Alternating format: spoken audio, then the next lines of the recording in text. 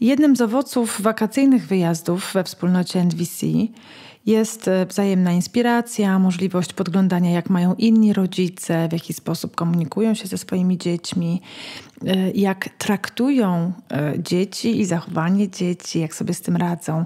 Można podglądać luz innych rodziców, mm, posłuchać na przykład otwierających komunikatów, to, tego, co w komunikacji działa, podejścia do zabawy, poczucia bezpieczeństwa rodziców, brania sobie przyjemności i tak dalej. Nazywam się Emilia Kulpanowak i specjalizuję się w świadomym budowaniu relacji opartych na uczuciach i potrzebach.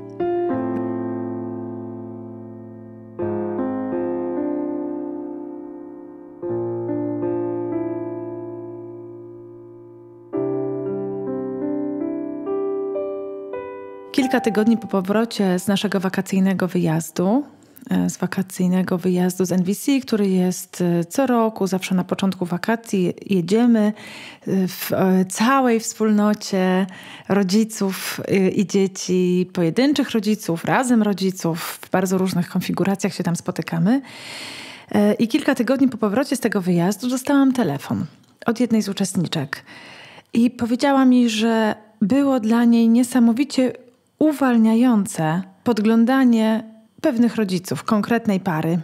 Tego, jak oni sobie z, ze swoimi dzieciaczkami e, spędzali czas, w jaki sposób się komunikowali, jak traktowali dzieci, na ile im pozwalali, że dla niej to było bardzo e, inspirujące. I zobaczcie, to było inspirujące dla mamy.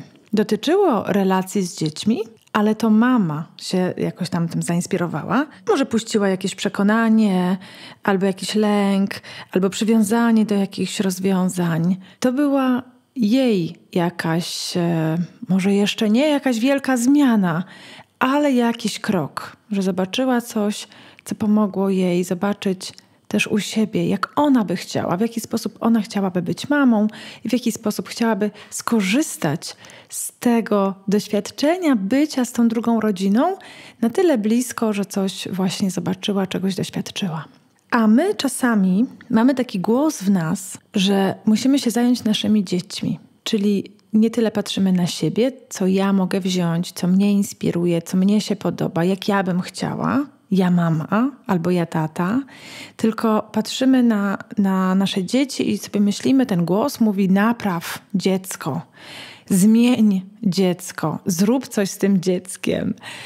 E, że, że jakoś bardzo głośno ten, ten, ten głos gada, na tyle głośno, że czasami dostaję telefony czy jakieś zapytania mailami i ostatnio jest ich dużo, dużo więcej. I ja wiem, że mm, zaraz powiem, jakie to są telefony i zapytania, i też zdaję sobie sprawę z tego, że dzieciaki naprawdę bardzo dużo doświadczyły w ostatnich miesiącach, e, czy półtora roku w zasadzie, e, i zaskoczenia, i zmian, i lęku, i obserwowania e, różnych sytuacji, i choroby, a może straty. I że oczywiście jest naprawdę dużo mm, takich sytuacji, kiedy dziecko naprawdę potrzebuje wsparcia specjalisty. To może być specjalista od NBC, albo psycholog, albo psychiatra i tak dalej. I oczywiście ja nie, nie neguję teraz tego, że dzieci potrzebują wsparcia. Tak, dzieci bardzo często potrzebują wsparcia. Natomiast chciałabym się przyjrzeć e, takiej myśli, która czasami się w nas pojawia, że coś z naszymi dziećmi jest nie tak i najlepiej wysłać je do specjalisty albo do kogoś drugiego, kto się zna trochę lepiej. Przynajmniej takie mamy zaufanie, taką mamy nadzieję, że może ten ktoś się lepiej zna i jakoś to moje dziecko naprawi, zmieni, coś zrobi takiego, że to dziecko się jakoś poprawi. I właśnie te telefony, które się pojawiają od rodziców, ale czasami też od nauczycieli, albo od rodziców z jakiejś klasy, to są czasami takie, oczywiście różne sytuacje, ale to są często takie pytania właśnie, czy pani pracuje z dziećmi, bo ja bym chciała, żeby moje dziecko to i to, coś mu zrobić, coś mu zmienić. Czy pani pracuje z klasami, bo ja bym chciała, żeby w tej klasie mojego dziecka to popracować, bo tam jest kilku łabuziaków, którzy. I tam oczywiście jest cała historia na temat tych dzieciaków, własnych lub cudzych, z taką nadzieją, że właśnie one zostaną jakoś naprawione. Mam doświadczenie y, pracy w szkole, które było dla mnie trudnym doświadczeniem bardzo, dlatego że nauczyciele chcieli, żeby jakoś poprawić, naprawić dzieci, natomiast nie było to w ogóle spójne z tym, co ja chciałam tam wnieść. Czyli nadzieje nauczycieli były rozbieżne z moimi nadziejami i nie zostało to sprawdzone na etapie pisania projektu. Ja zostałam zaproszona do zrealizowania już konkretnego projektu, napisanego pod pewne wytyczne i wymogi i na miejscu się okazało, że nauczyciele y, nie chcieli tej zmiany, której ja chciałam. To po pierwsze, ale po drugie działali w sprzeczności. Czyli oni wnosili, przynajmniej tak było wtedy w tej placówce. Y, ja absolutnie nie chcę powiedzieć, że zawsze tak jest i że wszyscy tam tak mieli, ale były sytuacje, kiedy to mogłam akurat zaobserwować, że nauczyciele mieli odwrotne działanie niż to, co ja tam wnosiłam i uważali, że z dziećmi jest coś nie tak. Sytuacja trudna dla wszystkich, bo i dla tych dzieci, no to oczywiste, ale trudna też dla nauczycieli, trudna też dla mnie w tej roli trenera, który tam miał coś zrobić, jakieś miał konkretne zadanie. I chciałabym Cię dzisiaj zaprosić do zupełnie innej perspektywy, do przyjrzenia się temu, w jaki sposób możemy się przyjrzeć różnym zachowaniom naszych dzieci, nie przez pryzmat coś jest z nimi nie tak i coś trzeba tu zmienić. Cały czas oczywiście z tym bardzo silnym zastrzeżeniem, że naprawdę są sytuacje, kiedy dzieci potrzebują specjalisty lub rodzic potrzebuje porozmawiać ze specjalistą, żeby sprawdzić, czy sytuacja, w której jest rodzic, rodzina lub dziecko, nie potrzebuje wsparcia z zewnątrz. I ja tego zupełnie, zupełnie nie neguję. I dziękuję Wam za te telefony, dziękuję, że pokładacie nadzieję we mnie czy w nas w naszej braci trenerskiej e, czy u innych specjalistów i że szukacie wsparcia. To jest mega, mega ważne. I nie chciałabym, żeby ten odcinek został potraktowany jako krytyka takiego poszukiwania. Chcę Ci pokazać po prostu taką dodatkową, inną perspektywę, która być może jest Ci doskonale znana, a może nie masz do niej teraz dostępu, z taką nadzieją, że Cię może zainspiruje do czegoś, coś Ci być może pokaże. Mam tu przed sobą książkę Cud rodzicielstwa z podtytułem Co się stanie, gdy naprawdę zaufasz swojemu dziecku, to nie jest książka NVC, w sensie e, nie opisuje NVC, nie pokazuje w, jakim, w jaki sposób kroki tutaj się w tym NVC naszym stawia, jak się słucha i tak dalej. Nie. Shai Orr, który jest, e, mam nadzieję, że dobrze wymawiam jego nazwisko, e, który jest autorem tej książki i z, na układce widać jego oczy i uśmiech E, które, które do mnie akurat jakoś mówią, jak to się czasami mówi, e, że patrzę na nie i wzbudza moje zaufanie. Więc Shai Orr w tej książce właśnie Cud rodzicielstwa mówi, że każda trudność, którą przynoszą dzieci, każda jedna trudność nie jest zaproszeniem do zmiany dzieci na przykład, zaraz powiem pewnie o tym trochę więcej, ale przede wszystkim jest informacją dla nas, rodziców, że to my mamy jakiś temat do przerobienia.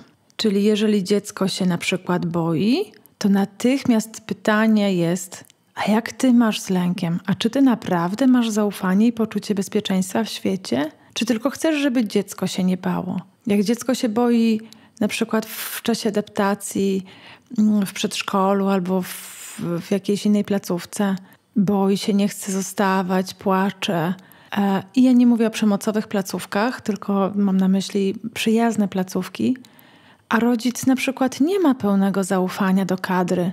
Wraca do domu i myśli sobie: Ojej, a czy ta pani Zosia to naprawdę się zainteresuje moim dzieckiem, jak ona będzie płakało? A czy ta pani Basia to nie będzie mu tłumaczyła, że nie wolno płakać, tylko przyjmie go z tym płaczem? No i jest pełen takich myśli. Dziecko to czuje. Dziecko dostaje od rodzica taki komunikat: nie wolno ufać pani Basi i pani Zosi. No i nie ufa. Więc pytanie, o czym nas dziecko informuje? Z jakim tematem ja mam teraz jakoś się e, poukładać? A po drugie, każda trudność, którą przynoszą nasze dzieci, jest wołaniem o pomoc. Konkretnie, żebyśmy my, dorośli rodzice, że ja, jak jestem rodzicem, to jestem dorosłą osobą. I do tego jeszcze trochę sobie wrócimy e, później, ale żebyśmy my, właśnie dorośli rodzice, swoim zachowaniem, swoimi myślami, swoim czuciem, tym, w jaki sposób my przeżywamy, odbieramy, rozumiemy świat, pokazali naszemu dziecku, które jest dzieckiem, a nie dorosłym, że może na przykład czuć się bezpiecznie, że może wyrażać siebie swobodnie, że może doświadczać przyjemności, że może się bawić, i tak dalej. Czyli to ja dorosły jestem gwarantem tego, że moje dziecko może przeżywać ten świat jako miejsce bezpieczne, pełne y, zaskakujących nieraz i często też trudnych, ale jednak gdzieś ostatecznie y, radosnych przygód. Świat pełen zabawy, spontaniczności, radości, świat, z którego można czerpać i w którym można się wyrażać. Shai Or przedstawia to w formie próśb dzieci, opisuje kontrakt, z jakim dzieci przyszły na świat. Nie będę Wam zdradzać szczegółów e, tej książki, zachęcam. Myślę, że ona jest warta e, do przeczytania, jeżeli jesteście rodzicem, e, i obojętne, czy małych, czy większych dzieci, żeby spojrzeć właśnie troszeczkę inaczej na te nasze dzieci i na to, co one próbują wyrażać, w jaki sposób. I zwykle, gdy pracuję z rodzicami i oni mówią na przykład, ale co zrobić, gdy dziecko nie chce, nie słucha, nie rozumie. Co mam zrobić, kiedy dziecko nie chce czegoś, nie zgadza się na coś? Ym, na przykład nie chce się uczyć, nie chce się ubierać, kłamie, boi się szkoły, pyskuje dorosłym, nie odrabia zadań, nie sprząta, nie chce myć zębów. Znacie te wszystkie tematy i wątki. I rodzice w czasie szkoleń nieraz wnoszą właśnie te tematy i wątki. Te swoje pytania, co mam wtedy zrobić? Ja się nie dziwię, że zadajemy sobie te pytania, no bo no w naturalny sposób one w naszej głowie powstają. Widzę, mówię na przykład do dziecka, kochanie, to teraz jest e, pora już pójść spać, sprzątniemy klocki, a potem pójdziemy spać. A dziecko mówi, nie będę sprzątać. No i w mojej głowie jako mamy się rodzą pytania, wątpliwości. Czy ja na pewno jestem dobrą mamą? Czy ja umiem mu to powiedzieć? Może powinnam jakoś inaczej powiedzieć? No to co ja mam zrobić? No, no jak już jestem na kursie albo y, mam kontakt indywidualny z, z trenerem, pytam, co, co ja mam zrobić? A ja wtedy najpierw zadaję pytanie o tego rodzica. Właśnie trochę podobnie jak Shai mówi, tak? O czym twoje dziecko chce cię poinformować? Swoim zachowaniem. I ja pytam, jaką Twoją potrzebę chcesz zaspokoić w tej sytuacji? No, często nie od razu o to pytam, tylko tam dochodzimy, ale sednem odpowiedzi na to pytanie, które postawił rodzic, co mam zrobić w tej sytuacji, jest zadanie sobie, rodzicowi pytania, jaką ja chcę zaspokoić potrzebę, o jaką potrzebę się teraz próbuję zatroszczyć. I często rodzice wtedy odpowiadają na przykład tak, że no boję się, że wyrośnie na jakiegoś lesera, nieudacznika, że w ogóle coś się strasznego wydarzy, że już się nigdy nie nauczy, że przecież e, powinien to i tamto, że jak chce działać w społeczeństwie, wśród ludzi, e, przecież grupa go odrzuci, jeżeli nie będzie. No więc jeżeli chce, no to przecież musi to i tamto, albo nie chce, żeby potem jego żona i jego dzieci coś. I czasami to dziecko ma dwa lata. I oczywiście z tym spektakularnym ostatnim e, lękiem, że wyląduje pod mostem i w ogóle nic mu się w życiu nie uda i wszyscy go odrzucą. I na początek e, zazwyczaj e, mówię tak, to zauważmy te myśli, w ogóle oddzielmy te myśli od wszystkich innych form, ale zobaczmy, że one są że one przychodzą, że właśnie wyrośnie na tego lesera, nieudacznika i kogoś, kto będzie odrzucony, że, że tak, przychodzą te myśli, przyjmij te wszystkie myśli. Witamy Cię, witamy Was, te nasze myśli poplątane. Jesteście. I, I zobaczmy najpierw, jakie są fakty. I wtedy się okazuje, że na przykład fakt jest taki: powiedział dziś do mnie, zamknij się, mój syn. Mógł tak powiedzieć? Pewnie wielu z Was ma takie doświadczenia. Powiedział, zamknij się. I teraz we mnie oczywiście znowu odzywają się te wszystkie myśli, że jak to on tak może, czy nie może, czy mu wolno, czy mu nie powinnam teraz czegoś zakazać strasznego. Tak, ale to są moje galopujące myśli.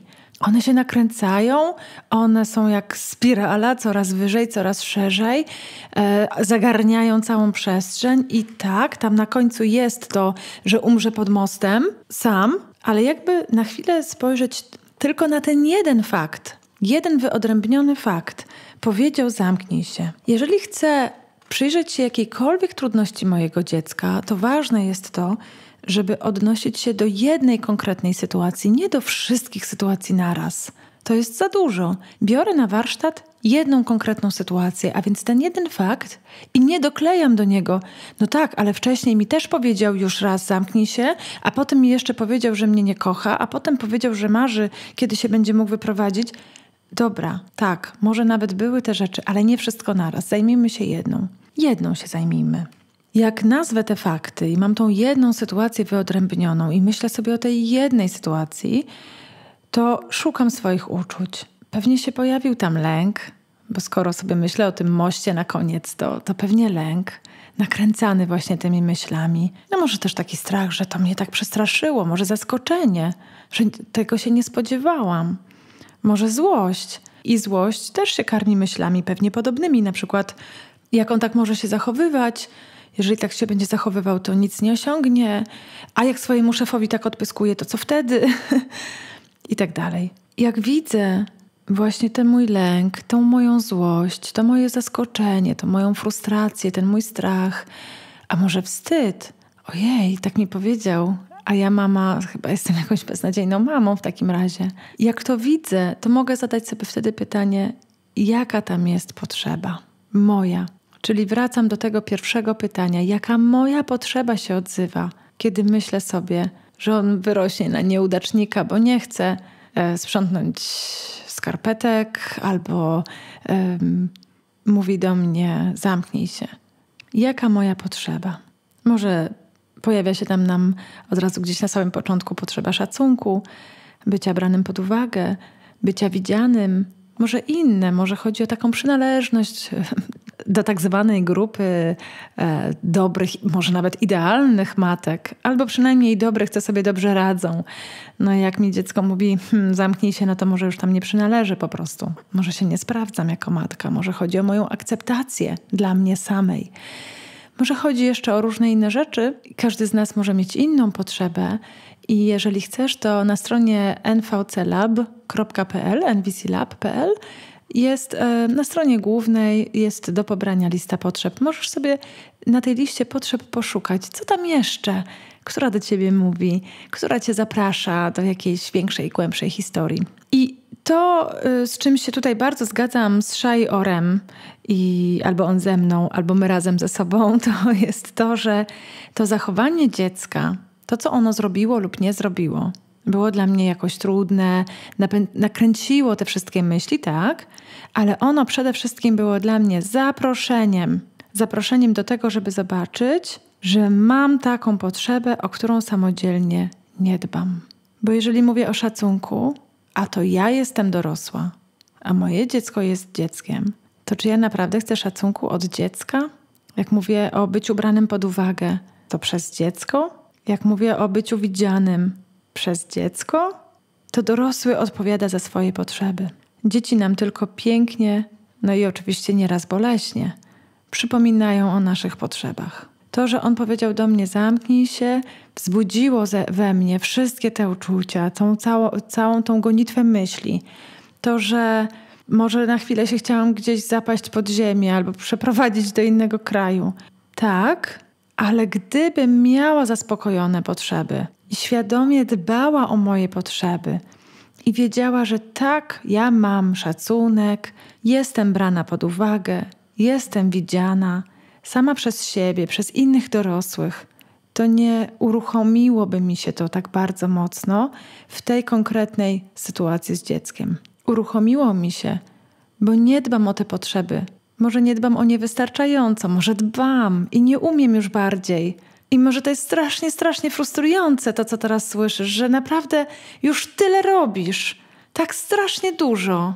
I nadal dziecko mówi coś, a ty jesteś od razu w kosmosie swojego, yy, swojej frustracji, swojej złości.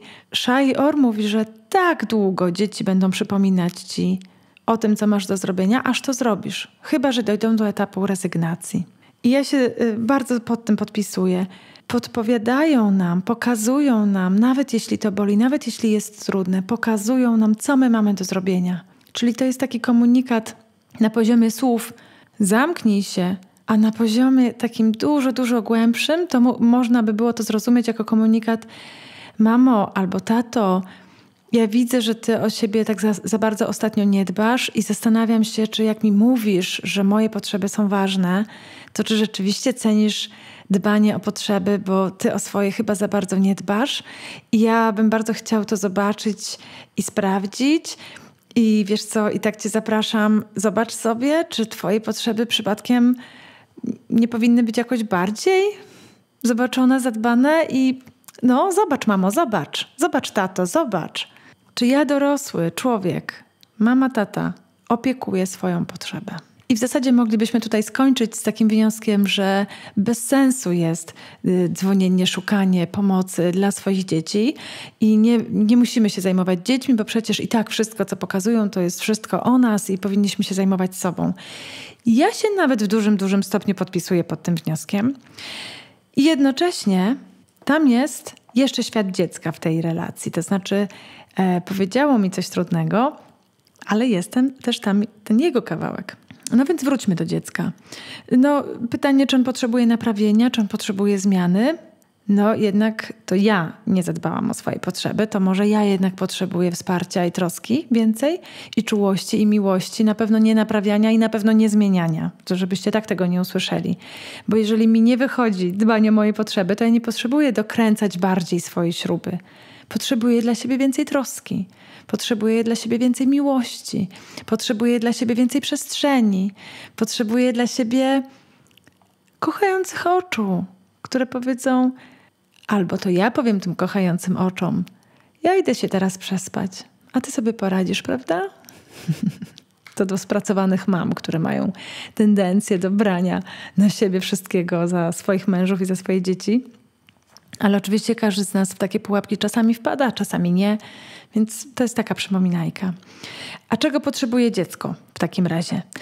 Dziecko potrzebuje zrozumienia swoim komunikatem, swoim zachowaniem, e, to czym robi i, i, i to czym nie robi, e, robieniem, nierobieniem różnych rzeczy, próbuje zadbać o swoje potrzeby. Chce decydować, wybierać, być słyszane, być ważne, być przyjęte, być akceptowane i tak dalej. I dziecko, ponieważ jest dzieckiem, potrzebuje wsparcia w zaspokajaniu tych potrzeb od dorosłych. Dorosły bierze sobie potrzeby sam, nie od dzieci, tylko od innych dorosłych i od siebie oczywiście też. A dziecko bierze sobie potrzeby od dorosłych. Bierze sobie też samo.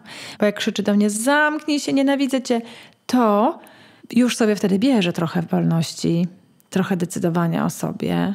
Ale czy rzeczywiście uda mu się zaspokoić te wszystkie potrzeby, jeżeli ja e, się wtedy jeszcze bardziej wkurzę i zatrzasnę drzwi i powiem, masz szlaban na komputer przez następne 145 dni. Nie wiem. Myślę, że nie. Myślę, że zdecydowanie dziecko po prostu potrzebuje wsparcia od dorosłych w zaspokajaniu swoich potrzeb i jak krzyczy zamknij się, to jest to ostateczna informacja nie mam zaspokojonych potrzeb. Nie wiem, jak mam o nie zadbać, nie umiem bardziej o nie zadbać. Nie wiem, co bym miał albo miała zrobić inaczej, mamo, tato, żeby moje potrzeby były zaspokojone. Mam frustrację, mam złość i nie potrafię inaczej, tylko w taki właśnie sposób, który dla Was jest trudny. Ale może będzie trzeźwiący, ale może mnie zobaczycie wtedy. W ten sposób uczymy się tych trudnych strategii na zaspokajanie potrzeb.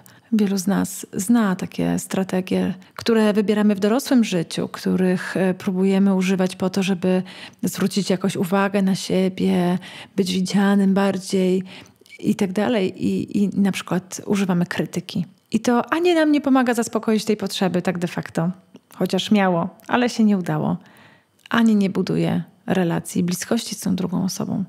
No i dzieciaki też tak podobnie y, robią. No niestety to nie pomaga. A co my wtedy robimy? Niekoniecznie widzimy te potrzeby, więc idziemy w naszą starą, utartą, dobrą ścieżkę. Ale przecież szkoła. No musi do szkoły. No ale angielski, no jak? Angielski mam odpuścić? Musi na angielski. No ale ładnie zwracać się do pani w sklepie albo sąsiadki, no, no musi. No przecież tego nie odpuszczę. No i teraz pytanie, czy na pewno, czy my jesteśmy naprawdę pewni, że ten system ma sens i że to się sprawdza? Czy naprawdę jesteśmy pewni, że dziecko trzeba złamać, przekonać, przekabacić, żeby wyrosło na tak zwanego dobrego dorosłego?